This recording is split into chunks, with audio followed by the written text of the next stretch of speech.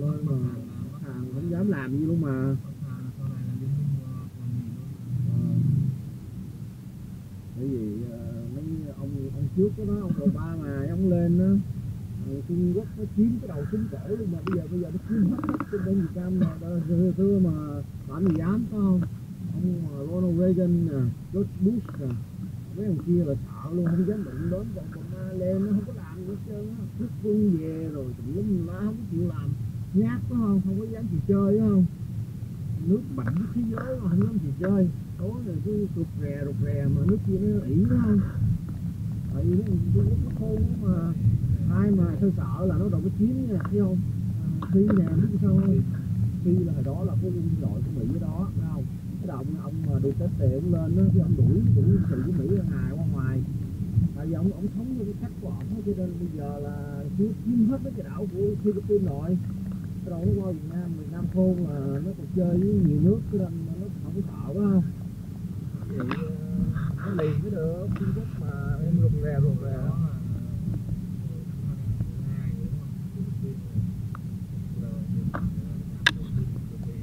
Không, bây giờ có đồng minh nữa, giờ nó chơi với Trung Quốc mà Trung Quốc ăn ăn hiếp quá rồi. Nó đồ hồi xưa. Hồi xưa là có quân đội của Mỹ, nó hải quân của Mỹ chiếm ở bên Subic B vẫn mà giống như Cam Ranh của Việt Nam vậy đó. Rồi nó đóng thời gian cái đầu hàng ông ông sống về đêm cái ông thích Mỹ không tại vì Mỹ ờ, tối ngày cứ ờ, giống như ờ, nó toàn là mấy dân á nó nói Mỹ giống như tài nhỏ đâu nó đuổi ra. Đuổi ra bây giờ không có không có ai bảo vệ cho nên Trung Quốc nó chiếm hết không cái gì?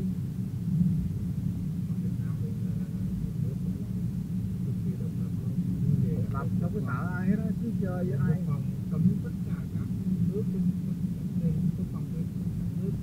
Trên thế giới là không có cho ai đóng quân ở Việt Nam hết. Dạ. lãnh thổ Việt Nam cũng có cái ngày của nó. Nhưng mà Việt Nam thì lì thấy không? Lì lì không có sợ ai đó. Mấy người kia nó không dám còn mấy nước kia rụt rè rụt rè phải không? Như ờ, thì mà khôn khéo. Ờ. ờ, giống như các bạn nhiều người. Còn mà chơi độc lập là không chịu nổi đâu. Tại phải làm ăn với nhiều nước phải không? Còn nói về ờ, nói về kinh tế thì là mở cửa còn nói về quân sự thì Việt Nam cực kỳ không kém kể cả cái thời cái thời điểm này cái thời điểm Việt Nam căng thẳng kinh tế rất rất là rất là bình tĩnh Việt Nam khôn là nó chỉ chơi với Mỹ bây giờ cái tàu Mỹ nè. Nó ra cái Trung Quốc đâu dám làm gì đâu phải không? Còn mà Mỹ mà nó kéo quân đội của Mỹ nó hải quân á đi hết vòng hết Mỹ ờ, Trung Quốc đâu dám làm đâu phải không? Nga nữa đó anh.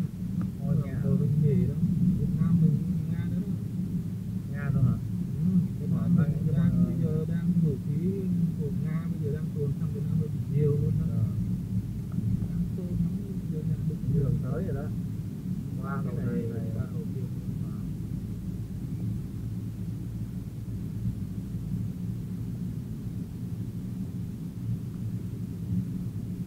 Nga là một trong những người Việt Nam nhiều